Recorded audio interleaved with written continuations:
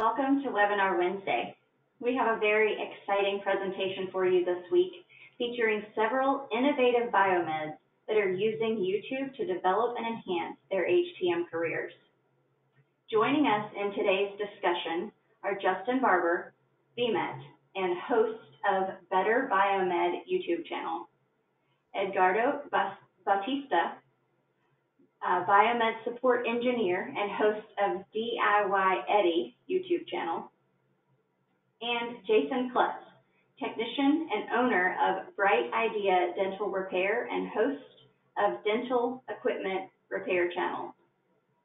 Last but not least, we do have Ben C., the silent panelist and the face of MedWrench. Please check out the handout section of the webinar dashboard for a reference sheet that will provide you with today's panelist information and the links to their YouTube channels so you can like and subscribe. Webinar Wednesday would like to thank our sponsor, MedWrench. MedWrench is an online medical equipment community where medical professionals, manufacturers, dealers, and industry experts can ask questions, provide opinions, and share ideas. MedWrench provides the quickest way to find medical equipment information for everything from troubleshooting problems to purchasing. Visit medwrench.com to set up a complimentary account today. A few announcements before we get started. We'd love for you to join us for continuing education, networking, and vendor engagement opportunities at our HTM Mixer coming up on September 9th and 10th in Kansas City. Please visit htmmixer.com for details, registration, and details on how we're making sure your meeting environment is safe and clean. While you're there, please make sure to sign up for our newsletter so you'll always have the most up-to-date information. Let's give one lucky attendee the opportunity to win a fun Webinar Wednesday shirt by answering the following question. What are two of the popular service categories offered on the MedWrench site. You can find the answer by visiting medwrench.com. Please use the questions feature on the GoToWebinar dashboard to submit your answer. Our panelists are not allowed to answer. As always, today's webinar is eligible for one continuing education credit from the ACI. You can obtain your certificate by completing the post-webinar survey. We'll have more details on this at the end of today's webinar. We would like for you to use this opportunity to present questions to our panelists. Please feel free to submit your questions at any time during the webinar by using the questions feature on the webinar dashboard. We'll get through as many questions as time allows. I'll turn our discussion over today to our panelists to get started. Justin, please begin whenever you're ready. All right. Thank you very much. First off, I'd like to thank Jason and Eddie. I've been trying to get this arranged for a long time, and MedWrench finally allowed it to happen uh, because I didn't have the technology to be able to get multiple people speaking at the same time. So thank you for that, guys. I really appreciate it. This is an excellent, excellent thing. Um, well, I, have been a biomed for 18 years now, and normally I specialize in surgical but uh, lately I've been doing a lot of laboratory equipment and whatnot. And uh, I've been doing YouTube for almost three years now. So it's been quite the journey. Different hospitals treat uh, filming differently, but uh, despite all those roadblocks and everything, we're still here and we're we're going stronger than ever. So thank you very much, guys. What about you, Jason? Hi, I'm Jason Kluttz. I own Bright Idea Dental Repair, and I started a uh, well, I've been a biomed for about 20 years now. Um, I went through the DoD biomed course in 2001. And then about uh, four years ago, I started my own business. It was originally J&D Medical Maintenance. I tried to get started as a as a biomed in the private sector, but um, there's a little bit of a uh, way that happened. But um, the uh, end result has been I've gravitated toward, toward dental. Dental's pulled me in, and I've got some really interesting information about the dental uh, layout that I think is really going to be uh, interesting. Every biomed I've talked to, this has been really captivating for them. So I'm excited to share today. So I've owned my business for about four years now, and I've got three technicians and two admins, plus myself. And so it's been a, a wild ride. We're just busy every day. It's been fun. So Eddie, uh, please tell us about yourself, man. Yes, my name is uh, Edgardo Bautista. Um, I'm a current owner of Inland Biomedical Services.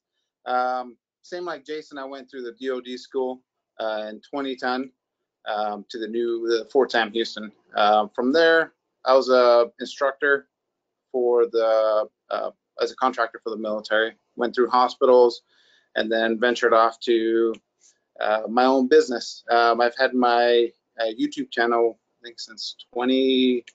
Well, uh, I've opened it in 2013, but I've started uploading videos in um, 2017 when uh, I started doing barbecue and stuff like that. But I slowly integrated more stuff and have a lot more medical um, refurbishment and um, you know processes we do here.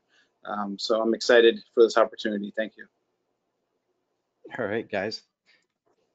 Well, uh, first off, can I can I ask you guys like why did you guys start making YouTube videos? Like let's let's just start off with there because me I'm a nerd and I I, I do it for other reasons, but I'm really curious. You guys are both business owners. That's so cool. And why did you guys start doing YouTube videos? For me, the first instructional video that I ever did was in the beginning uh, of the pandemic. And what occurred to me is when Michigan was shutting down, that um, there were a whole lot of offices that were going to be going into mothballs. And one of the main factors of uh, dental service, I'm sure anybody that's had experience um, with dental equipment knows a biofilm. And um, my theory with dental equipment, just a sidebar, is that there's so much work with dentistry because it's all got water in it. Autoclaves, delivery units, you know, just specialty items with water, vacuum pumps and whatnot. But when the pandemic started, it became appear, clear to me that there were a lot of offices that were going to go from a period of production every day to months of non-use. And so I made a video for staff members to understand how to air purge their delivery units. And at that point, it really occurred to me that it was a valuable means of being able to um, deliver procedural and corrective um, steps to a wider audience than I could ever do just by going and teaching on site. Because teaching has always been one of my passions um, as a business owner, but I just realized that the need with the pandemic exceeded what I was able to do in person.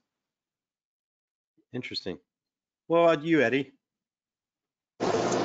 So uh, I have a construction background. That's before I went to the military. Um, economy kind of hit, brought down. So um, I was initially going to join the military back in high school, but I kind of postponed that for a while until I had no other option.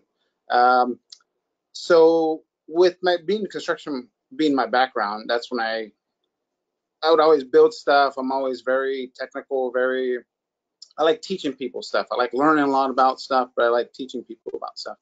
So when I started building my barbecue, I thought, well, let's let, let me put that out there to show how easy it is for people to learn I mean, I'm not teaching step by step, but I'm showing what I'm doing along the process. So someone with minimal skills that could go ahead and learn that.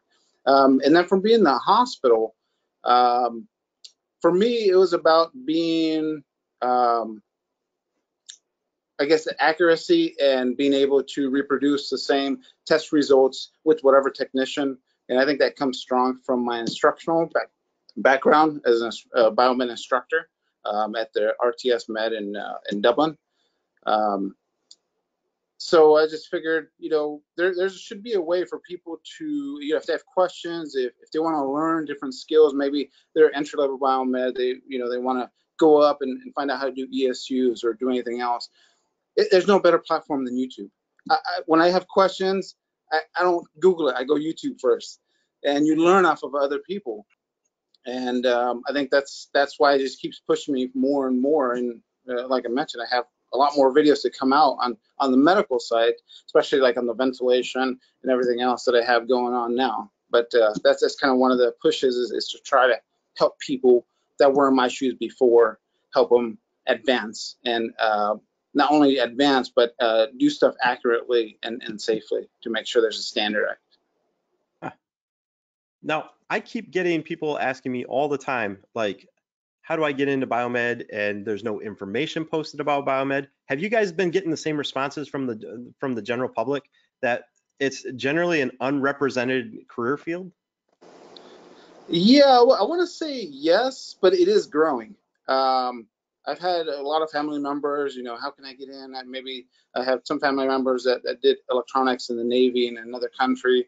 Um, just trying to transition to something a lot more secure. A lot of people think about the healthcare field, dental field, being a secure environment. I think that's something that that should be pushed a lot more. And there, there's a lot more. I'm seeing a lot more um, private trainings. Um, as far as the entry level biomed, you could go and, and take these private courses, college courses, all that. Uh, but yeah, it's definitely something that comes up. I definitely am always an advocate for the biomed uh, career field. Um, I tell people, you know, uh, I think as biomeds, we're problem solvers. And we're probably that guy in the neighborhood where, you know, the Facebook group, somebody's got a broken washer, dryer, or something. We're the ones that are able to fix it. I see you guys smiling. You know, you probably Oh, yeah. Fixed an AC or two this season, right? You know, I've got one of my YouTube videos is fixing my own AC. It broke and it took within 30 minutes I got it fixed. I like hot my I hot videoed it and I actually videotaped myself figuring it out and it was like a 30 minute uh, process. But it was uh, that type of thing where um, I believe, you know, especially Eddie and I through the military have been given a gift eh, of being able to focus for 11 months straight and be paid and to learn how to do this career field. And and what struck me is the military way of doing it, of providing a structured way of, of learning electronics theory, medical theory, and then kind of like advancing through individual devices in a manner where you learn the easier ones and then harder ones. And um, I'm actually training technicians um, now. I don't know what the what the pulse finger on the pulse is. I know in the Air Force, um, dental was kind of one of those things where you didn't really want to mess with it, right? You want to get away from there. But I was an imaging guy. I, I was surgery and then imaging. I was running an imaging team, and um, I. Uh, but here I am back at dental, and um, so I'm taking the way that I learned, and I've actually got my team of three guys. I'm actually building them from scratch. I've got one guy I'm teaching autoclaves, another guy that I'm teaching delivery units, and another guy I'm teaching compressors and vacuums. And so what I'm doing is trying to break that equipment down to the granular level and accessing um, the uh, type of um, literature that exists out on the internet to pull up schematics and to you know do trainings uh, specifically geared at a, at a device. And um, part of the thing uh, I'll say about my business is I have a, a huge warehouse full of equipment used equipment is really um, i'm kind of i was thinking today about the future of the biomed and i really believe that our future as biomeds kind of has a foot in the past because i don't know i don't think you can understand the the the, the brand new bleeding edge without understanding how it used to be and and what the Great. foundational equipment is and being able to actually see components on a board and understand kind of how things are connected. Because when you're looking at these like little tiny boards with everything coming in and going out and it's basically trash if it doesn't work uh, give me the big old stuff with huge wires where you can go ahead and you know follow the wires trace them you can see a fuse that's broken. You know you can see and teach based on that better than you can these little things that break as soon as you touch them so um, maybe got a little bit off there, but I wanted to kind of, you know, maybe get going in a direction um, and kind of give you a little bit of taste for where I'm at. I love the past. I love old equipment. And I believe um, to answer your question, getting people started, um, there is an abundance of used equipment. There's an abundance of things that are coming out on the market that can be had for free or cheap. And all the literature exists for that. So for anybody that's really interested in breaking into this, I mean, hey, get an old pump that has a manual and then, you know, eBay's out there. You can buy them for 25, 50 bucks and then basically take it upon yourself because biomed is a career field that where you've got to be um, my favorite term I've ever heard for bi- being a biomed is technically curious. If you're a technically curious person, you are going to exceed and do so great in this career field. So that kind of is for somebody who's maybe listening, like, I, I'd like to be a biomed or maybe a way that we can be an advocate of, of, of kind of like, hey, how do I do it? Hey, try to get some equipment. I'll help you get the books for it. And then maybe we can sit down and I can coach you because it might be one of those things where they need that guiding hand to kind of get them started. Yep. Well, guys, uh, let's go ahead and take some questions from uh, some of the people that are submitting them so we don't get too far off track. Um, what do you got for us over there? All right, how about what are the challenges of business ownership? Hmm. Who wants to take that one? You want me to take it, Eddie? Or do you want to take it? You can take it first. I'll, I'll comment after. Okay, okay. Um, I would say the the challenges of business ownership are when I first started my business, um, I learned really fast that I could go out there and find business as an independent. Okay, I'm technically an independent service provider. I compete against multi-billion dollar companies that are uh, or you know million billion. I think Schein or Patterson are probably billion. I don't know. They're a lot of money, right? A lot. And so the um, uh, the challenges of owning a business are as a small operator. Okay, if you're if you stay small and keep it all, you're the only one that's there to do the work. Which means that um, what I've learned is is when you do a good job, okay, you build a, a reputation. In dentistry, it's all about refer referrals. And so what happens is when somebody is pleased with you, they will tell their buddy, who will tell their buddy, and you and you'll be going good in the beginning. But the, what will happen is it's a wave, and it'll build, and it'll start to crush you. And so what you'll find is that you're going to need help. And this is where I believe we're going to go a little bit later on about what you can do to kind of like find opportunities because a guy like me that starts a business, what's going to happen is I'm going to start to get crushed by all these autoclaves, bench work, I mean, uh, uh, jobs in the field. And the challenge is in the beginning, you have to do it all yourself because you can't afford any full-time employees. And then what happens is it gets to be so much work that you need the employees. So now you've got all these things of running a business like payroll, you've got insurances, you've got other people who aren't you they're not the owner, so they're never really going to work as hard as you do. And you're um, you're really going to be in for a challenge, an uphill challenge, and and we're we've been really living that. Yeah, Jason, you have, you have some really good points. Um, one really uh, point that I want to uh, point out when it comes to business ownership is dedication. Dedication, the stressfulness, um, you being a push yourself, having a support system behind you, um, in the beginning, it was uh, owning a business. You have to have all types of skills, customer service, uh, especially in the in the service field. Your customer service, you're coding out. You're you're basically doing everything, 100%. Uh, when I first started, it was uh, I'll just touch really brief on this. I was working in the morning, eight hours. I'd go home, take a shower, and go to my afternoon work. That was a year straight. So there's motivation points of, of, of a business ownership where your motivation is really low. There's some that are really high, um, but overall, I wouldn't change it for anything. Mm-hmm. I, I, absolutely love it. Um, there, there's months that are great. There's months that we have to keep working and figure out, okay, what's the next step here? And that's you have to keep challenging yourself. And the best thing is having that support system behind you to help push you, whether it's a family member, whether it's a wife, maybe your kids motivate you, whatever it is, that's the most important thing for me. Excellent, guys. Great, guys. All right. Our next question is, um, where do you get inspiration for your YouTube channel? Hmm. Okay. Uh, well, I guess I'll start that. Um, every day, every single day. If I had the time to make a video for everything I experience or things I tell other people throughout the day, things that other people should know.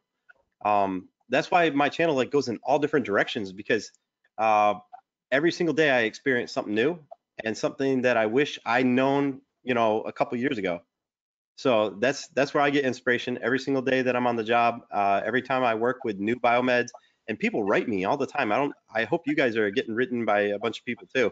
And and those letters that they write into you are very encouraging, and at the same time, it's it's encouraging towards the future because these people are hungry, and that's what that's what drives me to make these videos. So, what about you, Jason?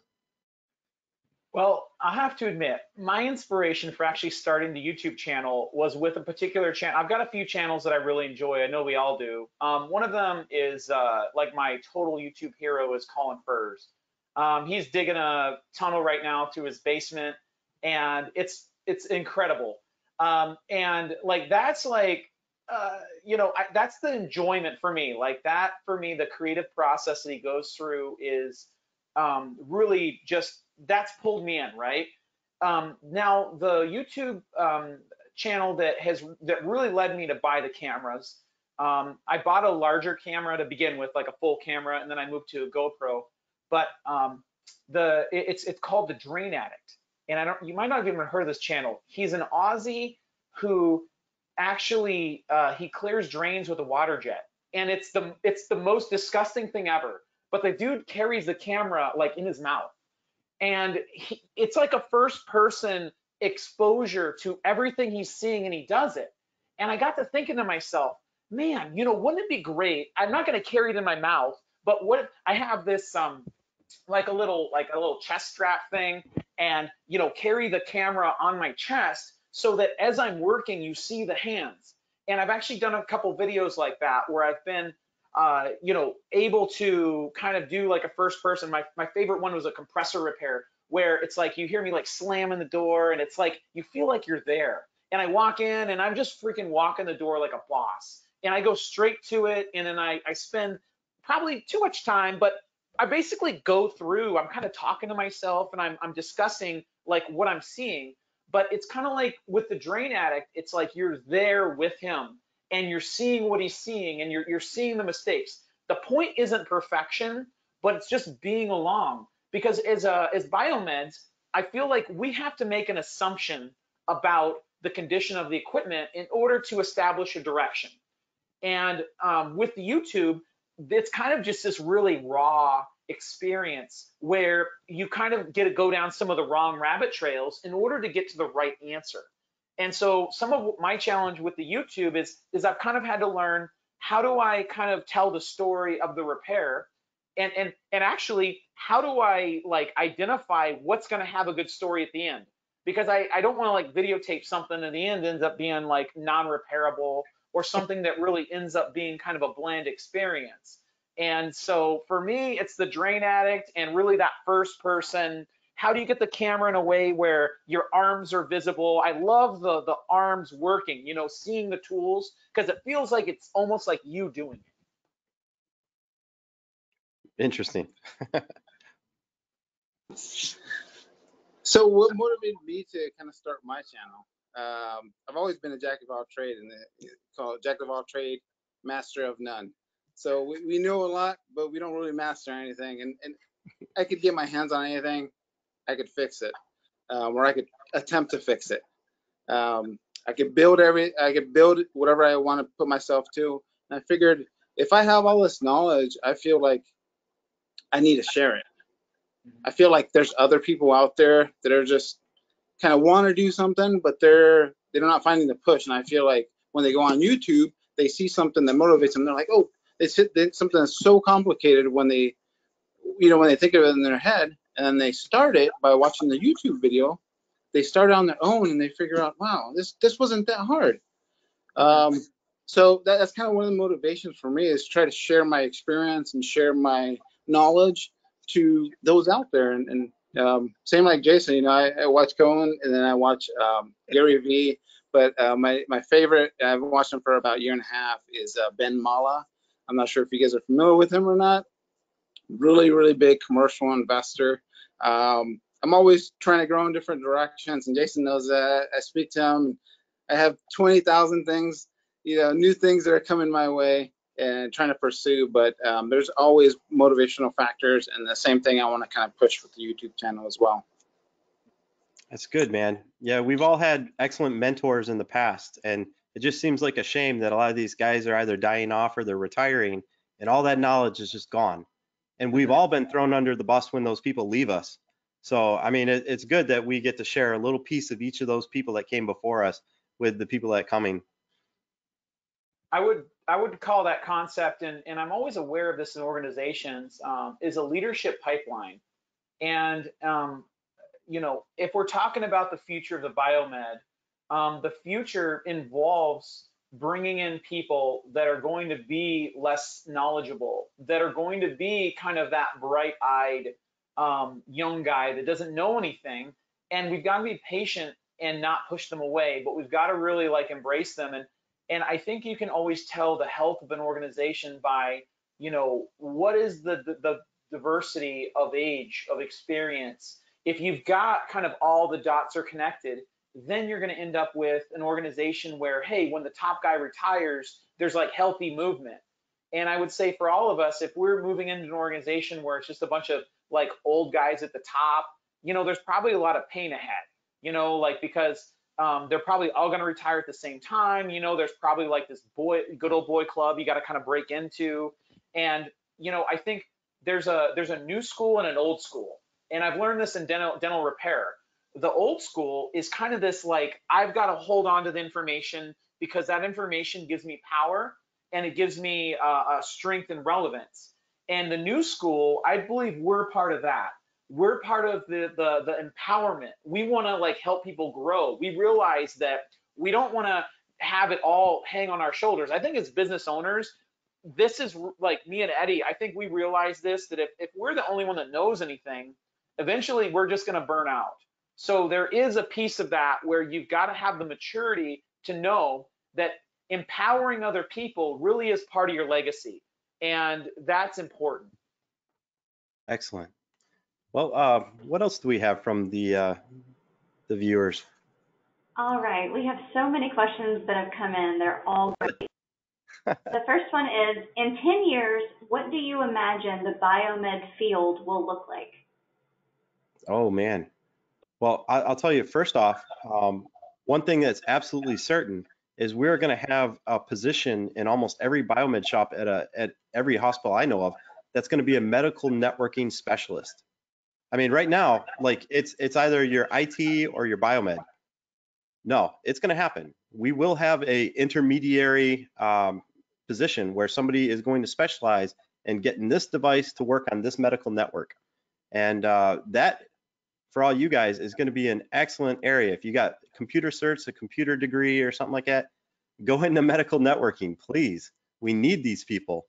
But um, I could honestly see that from now on, like competency training and stuff is going to be kind of like what we're doing. It's going to be a video because in what five minutes you can learn what would take you hours and otherwise. So I, I think that in the future, we will have some sort of competency training as we strive towards some sort of regulation of, of our career field. And, you know, it's going to be something like uh, what nurses have to go through. So what do you think, Jason? I think a lot uh, same. I'm not, I wouldn't say that I'm, that part really makes me like excited inside because computers yeah. really kind of suck my soul away.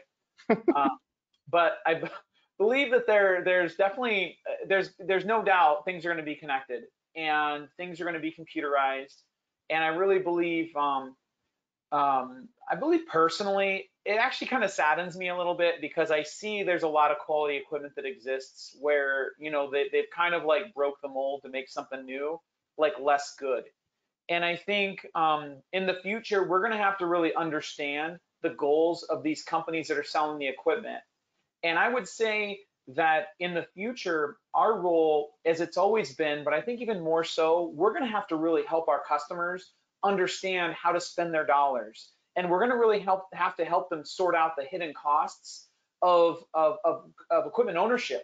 Because, you know, when you buy a piece of equipment and then you need a software for it to work, and then there's a license you got to buy, and then there's, you know, I really believe that there's um, that it's going to be up to us to help our custom, help our businesses understand where to spend their dollars, and then maybe, just maybe, in a way, we can help our industry, like I don't know, like kind of stay, keep a foot in reality, because I know like computerized stuff is great, but I also know that 10 years from now, they're still going to need troubleshooters. They're going to still need critical thinkers. And um, I know right now, like owning a business, it's hard, but it was actually really easy to start. So I would like to kind of speak that on the career field that maybe as part of what I'm learning and I'm trying, I'm really trying to be a voice for biomeds to tell you that that there's this thing called dentistry out there and it is nuts. I honestly would like to say in 10 years there would be a lot more operators doing dental equipment service, dental equipment repair.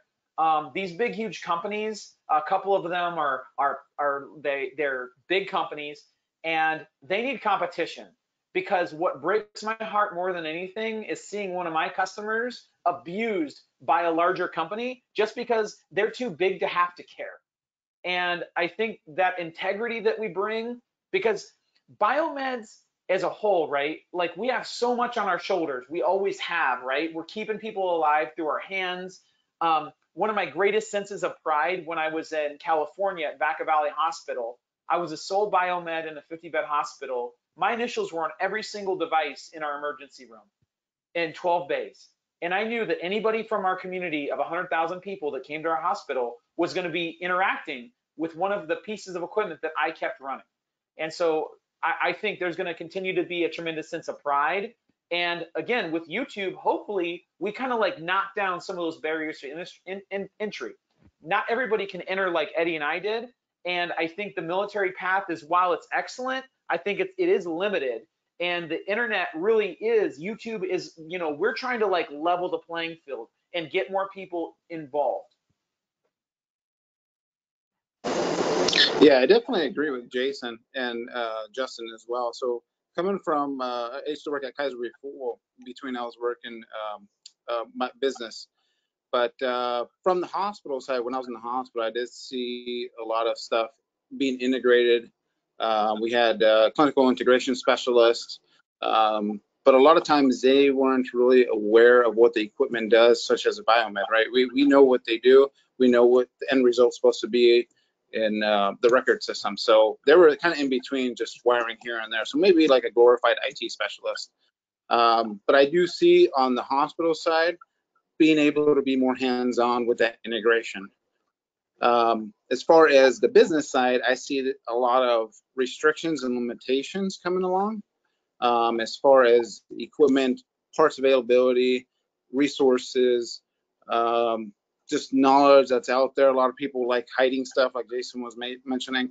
Um, just keeping that to themselves. I foresee a lot of mergers happening uh, with these companies, um, especially like TriMedx buying out everyone. All these Avante Health buying, buying everyone, and that, that's that's on the um, you know on the third party side. So I do see that a lot of those partnerships are separating business owners from independent. So that's that's what I foresee from here to 10 years. Interesting. All right, guys, thanks. Uh, we're gonna have to try and cover a few more questions uh, a little bit faster from the the people that are signing them in. Uh, I think we got a lot of them to go through, guys. We'll, we'll have to do this again, man. This is fun. I love I love talking with y'all. All right, great. So our next question is, as a newer biomed, I am starting to look at training for a specialization to have. Any recommendations on what is a good one to choose early on in your career? Oh man, if if you're a junior level biomed and you're just getting in, if you can get into surgery, and I, I mean, a lot of people avoid surgery, but you're going to get a huge amount of experience really quickly, and it just gives you uh, a lot of knowledge in you know pneumatics, hydraulics. You're going to get uh, a lot of motors, a lot of troubleshooting skills, and the thing is, is you're going to have to think fast, and that's why a lot of people don't like surgery is because you know it's it's a high tempo type of job but at the same time, it's going to challenge you. And a lot of junior biomeds love a challenge. So if I could specialize in something, I'd do it the same way. I'd go into surgery right from the bat. So what do you guys think? I would take a little bit of. Um, I, I, agree. I've been on surgery teams, and I feel like uh, surgical surgery is a great, um, is really a great place to start. Um, as far as like uh, just having that breadth and also being able to offer, operate in a difficult environment. I think, you know, being around things that are messy and, you know, practicing um, under stress, which I like that aspect of it. But I would take a little bit of a different take. My answer, I would say, I would specialize in troubleshooting. I would become a master troubleshooter. I would do everything I could to learn every possible technique to become the very best at, at, at that aspect of our job. Because if you're able to troubleshoot, if you're able to get to the bottom of tricky repairs because you understand how, because to troubleshoot, you've got to know what it's doing, what it's supposed to be doing, which means you've got to be in the book and you've got to have a good sense around the equipment. And that just comes from, you know, really just having exposure. So, you know, be a really uh, a go-getter, just do what is needed. And then while you're at it, become the best that you can to understand that. And also that pile of broken equipment, focus on that. Focus on the things that other people can't fix. And that's how you're gonna really know when you're getting there, when you're able to produce results other people can't. And then just keep developing that. Because if you can troubleshoot, you are gonna be invaluable in any organization you're in. Hey, Jason, to piggyback off that, the way that you record videos is, I think, the reason I think that that's the future is because you are there to experience the process. It's the process that took us so long to learn as biomeds. Like as soon as you step in the door, how do you go through the process of troubleshooting? It's the one thing that I've tried to relay to other people. And that's why the journeyman system is so awesome is because somebody's there to accompany you through the process. So you learn how they do it and then you take it one step better. But I, I completely agree, man. And a quick, I would just say a quick tip for that individual because it sounds like they're at the very beginning of their career. If you're ever around a piece of equipment and you're not quite sure, you know, what's going on with it, because there, you might be asked to do something like that you've never done before. Like my job is, I, I walk in the door of a building I've never been in before and work on a problem that I don't even know what I'm walking into. So like my whole life is just being thrown in the fire every day and I love it. But for pieces of equipment that you don't fully understand, what you do is you very uh, smoothly ask the customer, um, you say, hey, um, can you show me exactly what it's doing or not doing? And what you do is you get them to go ahead and use that equipment in front of you to show you how they use it. And then um, uh, uh, familiarize, familiarize yourself also with the book because what you're gonna find is that a lot of problems that we have in as a biomed are really like some sort of an operator error. Um, as my friend used to joke around, the problem is somewhere between the chair and the keyboard. And uh, so you you have to learn how to have that um, you know type of a, a ability to kind of you know not you know you have to still maintain their trust, but you've also got to still be able to let them off the hook when it's their fault. Um, I will say I've been around biomeds that are very quick to slam customers. And as a small business owner, I will say every office I'm in, it's because they let me be there. So um, we'll find that uh, customers will be very truthful with us if we don't beat them up with their mistakes. We educate them and we stay on their side. Um, but that's what that's how I would um, respond to that. Excellent. What about you, Eddie? Well, I, I think uh, as an entry level, try to learn as much as you can. Um, figure out what you like. I mean, there's different specialties for a reason. Um, you might get pay, high pay, high paying jobs in imaging, but you might hate it. Um, so figure out what you like and pursue that. But not only not only look at right now, look at where you want to be. Do you want to still become a tech? You want to become a lead? You want to be a manager, director? And then figure out what is going to put you in that path. And I would say take that into consideration with when you're thinking. I mean, there's you could do one thing. Say you start in surgery. I, I love surgery. That was my thing at Kaiser. Um, but you figure out different fields that you, might excite you more, might be able to troubleshoot more, might be able to be more hands-on instead of just PMs or you know stuff like that or minor repairs. So there, there's different situations, but but always learn, ask questions. I ask a hundred thousand questions. Uh, managers tell me to stop asking questions. I still ask them. Um, the least that they could say, I, I, guess the worst thing that they could say is no.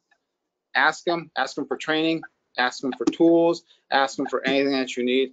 Like I said, the only thing I can say is no. Just do it. I've, I've gotten $20,000 worth of tools because I asked, no one else asked. I've gotten training because no one else asked. So mm-hmm. ask and learn. I completely agree. And don't forget to ask the users. Jason already kind of brought it on. Like ask the users if you don't know what a piece of equipment does. ask them. They'll, they would be enthused to express their knowledge of the device, for sure. All right, guys. Next question is, as a biomed working in hospitals, do you think we will be replaced by companies, reps, or techs in the future? Oh, man. This is kind of a controversial issue. And it's only controversial because there's so many third parties that are taking over, but there's pluses and minuses to third parties. And what's really interesting is if you look at the, the life cycle of third parties, they come and they go. Why do they go? Because the hospital was inevitably, usually not satisfied. The costs go up. They always go up. Costs always go up. And, uh, but at the same time, when you contract out third party, it's a predictable cost. So the hospitals like predictable costs. So it's there's pluses and minuses to it. All we can do is be as versatile as, as possible as technicians, which means always be ready to learn, be ready to know something else. You know, always have a fallback plan, more than one specialty. Some people only learn lab analyzers and they stuck there their entire career. It's like, why? You could have just rode along with another technician and asked about what they're working on and maybe volunteered every once in a while to work with them, but they don't. So uh, people get trapped into a niche and they're affected when, you know, you run out of options. So I don't know. What do you guys think? I would say that it feels like the friends of mine that have been affected by buyouts, like that the um, it, it seems to be the buying company is always interested in um, in like keeping on staff, right? Because they want continuity. And um, I think anytime you're able to retain a staff member, um, even if you're changing your shirt or whatever, um, that is going to be adv advantageous, and you might be able to use that as a negotiating tool um, to end yourself in a better situation. Um, I would say a bit of advice um, for anybody, especially because we're talking about like transitions and things like that. I would say just a piece of practical advice is that how you're how you leave is how you're remembered. And what I always try to encourage people to do is try to leave on positive relationships with as many people as you can, because um, there was a situation where, um, and I, I, don't know if this, I don't know if I'm ever going to have a chance to do this. Um, I got a shout out to Ted uh, or to Todd uh, Schroeder. I promise I'd wear my utility kilt from the the uh, the uh, um, UC Davis Medical Center. I was there for 10 glorious months. I got in the door as a NICU guy. Um, this was um, just a foot in the door, and I was able to go over to imaging. But then I had another amazing opportunity three miles from my home. And while I was there, uh, met some amazing people, but I was only there 10 months. And it was really hard because I cut out 90 miles a day of driving um, for an opportunity um, and this was a major university. I mean, just a really great job. I mean, great. I mean, wonderful people. I love them.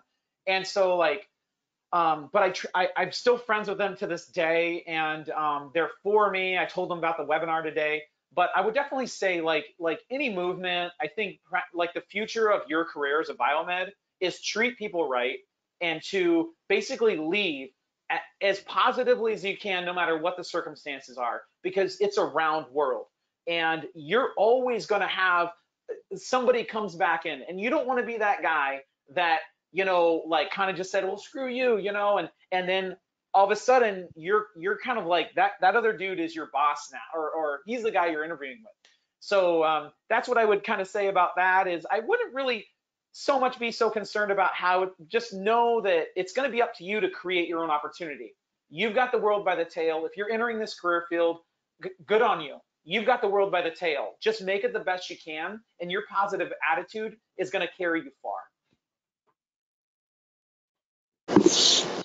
So I think that um, there's high probability, high uh, chances that since everyone's buying out everyone, um, there's more of a chance for non-union shops to I guess essentially in, in meetings, board meetings, and all that, you know, stuff like that would come up. Uh, but I would say don't let that scare you. Um, most of the time, if they buy out or, or you know they bring a third party in, they're always looking for techs. So whether you're working directly for the hospital or you're, direct, you're working for a third party now, but at the same location, you know, it's it's all going to be good. Um, so don't let that affect your ability. Always continue to learn.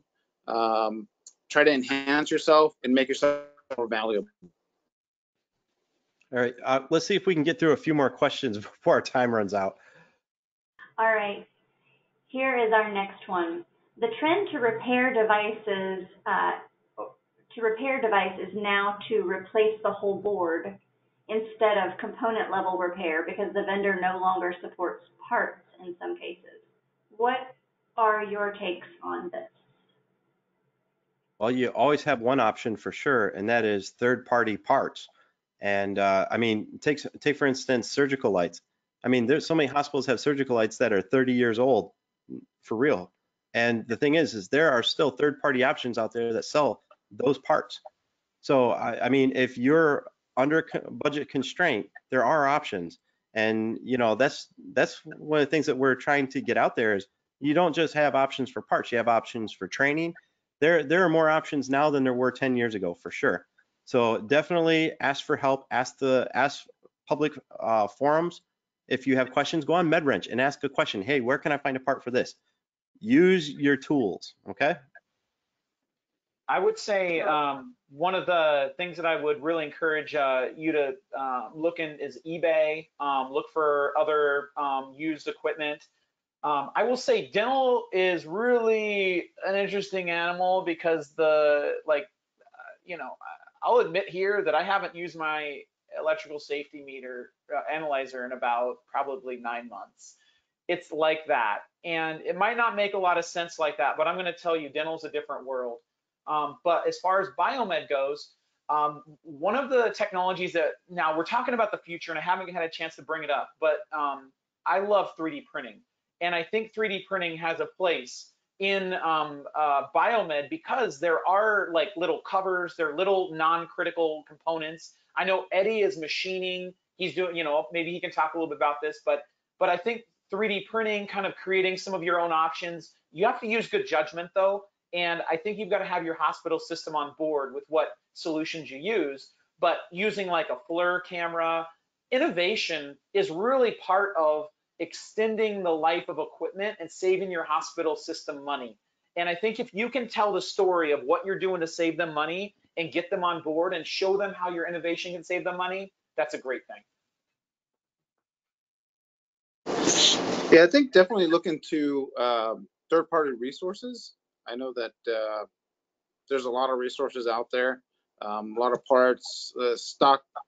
I mean, there's facilities that I've been to that I do third-party service for a third party, um, or I, yeah, I do contract work, but they have stockpiles of parts. Um, feel free to reach out to to you know different companies and see if they have those parts. If replacement's not within you know the budget, I know that there's different budget levels and and budget types. Definitely look and and yeah, I mean I do a lot of 3D printing. I do like I'm doing like custom this like a custom mount for um, a holder for the TSI certifier. So they're laying on the floor, I just you know we're always trying to innovate different things. And when it comes to the medical stuff, um, there's companies that are making replacement parts and um, you know that's something that we're getting into with our resin printer, our 3D printers, large format printers. Um, so I think that's that's a whole different topic. Uh, but there's resources out there, and uh, you know, for one-off parts or anything like that, you know, definitely feel free to reach out to different people. I know different people have different experiences. Third parties um, don't always just look at OEM. There's all the alternatives that meet or exceed those requirements. I would just make sure that whatever option you choose, that you're choosing the appropriate level of risk. And I would definitely advise that you don't do anything that's going to put your um, hospital's, um, you know, legal department in a bad way. Make sure you know what you're doing and that you have the um, approval of your of your chain. Because things that make sense to us on the ground level, if you don't have buy-in from your leadership, it could put you in a bad way. So just make sure you're you're being smart about it. But definitely, I, I think there's enough room to innovate, and I think you should. Okay, all right, guys, our next question is, what other websites or platforms do you use if you can't find answers on YouTube? okay, uh, that's a kind of a good one. Um, probably one of the leading sources. I mean, if, if we don't go to MedWrench forums, I mean, I usually just Google the error code or whatever, and usually MedWrench is obviously one of the first ones that pops up. But uh, other than that, it's usually me going out to, you know, that's one of the advantages of having the YouTube channels. We have a network, you know. But also, if you network really well on LinkedIn, you can just post a post out there like, hey, I'm looking for a job in this area, or hey, I've got this error code with this device and people are excited to be able to help you. The the community, it is a community. We're here to help each other for sure. So uh, I use LinkedIn for sometimes for questions. Sometimes I reach out to my viewers if I have a question that's pretty serious. Um, I've I've helped people get jobs this way, you know, reaching out. So I mean, social media is is the future for everything, for all, even just general text. Eddie and I are both part of a dental uh, equipment repair group on Facebook. And this is a group with a less than 200 people on it, but they're from all different, uh, different, like some are from manufacturer, big manufacturers, a lot are independents, some are owners. And um, same thing, we post a question out there. Um, we, uh, I've got in my warehouse, I've got a ton of equipment. So people will be looking for something like a needle in a haystack and if, if we have it, we'll provide that to them and, and uh, like that. Or, if somebody has a question, um, we'll, uh, um, my, the, this group is really great for sterilizer, like tabletop sterilizer repairs. There's a lot of really knowledgeable people on there, but definitely Facebook groups. And, and I would encourage you all, um, just because one doesn't currently exist, doesn't mean you can't get a couple buddies together and start one. Because if you have a, a group with about, you know, with 20 or 30 like really solid text on it and it kind of gravitates in more text, you're going to find that you're just going to like you just ask the question and then troubleshoot and then you come back and you dip in on on the uh, conversation and the answer might be there waiting for you. Yeah, there's also uh, I'm on Military Biomeds um, on Facebook. Uh, there's a couple, I think it's Biomed World's another one. Then there's a couple other Facebook groups as well. MedWrench. Um, I love Frank's. I know you can ask questions, but manuals and there's a lot of resource there. Um, mm-hmm. And there's been third parties that I've, I've actually called. Uh, maybe they're experts in say infusion pumps and ask them, hey, you know, this error I haven't seen before. What, what would you recommend? Uh, most of the time, they'll they'll be more than happy to help you out. So feel free to reach out to third parties as well. That's a good point, Eddie. I like um, what I'll do is I find who, what company is selling what I'm trying to fix used, because typically they've got some sort of a warehouse and they might even have some of those parts there. And a lot of times they will help you. It's it's definitely not cutthroat when you get into small business. I feel like there's a lot of small businesses willing to help out health systems, especially because you know they want to sell that stuff. And if you can come at them with hospital money, man, they're really motivated to help you out. Good answers, guys. All right, next up is, are there any risks or liabilities that you share when you create videos? Oh, yes. oh, yes. So uh, at my particular hospital, any single day I'm expected to get fired. That's the truth. Because although I try and isolate myself, I record videos in the middle of the night and whatnot, there's still a hospital policy that says absolutely no recordings whatsoever. And I have had people try and get me fired before. It's, it's so there are risks. I mean, regardless, uh, there's always PHI. You know, you got to be cognizant of your environment when you're recording a video. But I mean, some of the most the the best content you can have is sometimes on site. I mean, if I'm having an issue, I take a, a piece of equipment to my shop. I should be able to record what's going on with it because this is stuff that could be really like FDA type of stuff that that should be reported. And if I can resolve it through a quick video, you know, making people aware that this problem exists, then why go through the whole FDA process and, and waste everybody's time? You know, a couple months when this hazard we can get resolved today. Um, so yeah, there are risks. There's definitely risks. PHI is number one. It's a big no-no. mm-hmm. I feel like the risk um, that, that there are probably some legal, you know, hurdles, but I feel like everybody's making videos nowadays. And so in my videos, I try to have like this little kind of blanket, you know, like, hey, this is for um, entertainment only.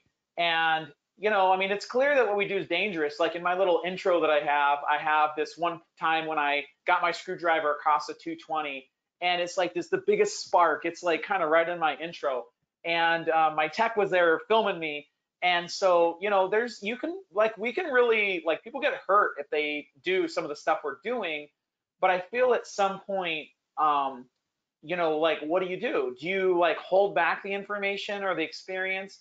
because somebody might hurt themselves or do you just basically say look dude this if, if you if you shouldn't be doing this if then then don't do it you know but but i mean is somebody really going to come after me and try and maybe if i'm worth more maybe i might be more of a target but maybe if i'm worth more then i'll have a legal department or something like that but right now i'm just um, kind of just trying to take one day at a time i'm trying to act in good faith towards the community and so um, in life, I feel like that's what we all we can really do, right? Treat people right, do the right thing, and then take the experiences that happen to us and adjust our behaviors accordingly um, based on what happens. Because you might, you know, sometimes the liability, like if, if I was really worried about liability, I don't think I would have started my business. You know, I've got insurance and stuff, but and I think to kind of just tease the subject, um, don't let a fear of liability stop you from reaching out to uh, local companies who are independents that might need some side help and that might be an opportunity for you to moonlight because I'm talking to you if you know how to repair biomedical equipment and you're bored at night or you're bored after work look google dental equipment repair google autoclave repair google any independent you can find and just call them be like hey i'm so and so i know how to repair biomed equipment I would, I'll bet you a beer that if you if you make that call, you're going to have some opportunities coming your way. Yeah, that's a lot of beer, Jason. That's all right. You have to go to Costco get a pallet, man. That's all right. Kirkland's um, back. I think I think uh, as long as you know you have a disclaimer or uh, you're not trying to copyright anything, um, I think you should be okay. Um, if you're kind of providing information for entertainment purposes, I think it should be okay. If there's any legal issues, um, then, you know, with disclaimers and everything else that you could do online, I'm pretty sure there's ways to avoid it. But don't let that stop you from from providing information out there. I know a lot of uh, OEMs and such don't like providing any information, um, or hey, you have to send it in for a flat rate. We're not going to tell you what's wrong with it, and it, it could be something very simple. Um, so to show and save organizations money, um, third parties, whatever, I think that's more important in the long run. All right, guys, our time together today has come to an end, but I would like to thank you all, Eddie, Jason, Justin, for your time today. What a great presentation, and this has been very enjoyable. I would like to encourage everyone to visit our sponsor today to learn more about the services they provide to our industry. Please visit medwrench.com. A quick reminder to our audience that you can obtain your CE certificate by completing today's post-webinar survey. The survey will be emailed to you in approximately one hour. You'll be, you must complete the survey to receive your one CE credit from the ACI, and you will be able to download the certificate immediately after the survey is submitted. If you have any questions, please feel free to contact us at webinar at mdpublishing.com. And we'll be back very soon with another webinar. Make sure to visit our website, webinarwednesday.live, for more details and for complimentary registration. Thank you all and have a fantastic day. Thank you. Thanks, guys. This is awesome. I hope we can do it again soon. Yes, yes. Definitely. Definitely. Take care. Thank you.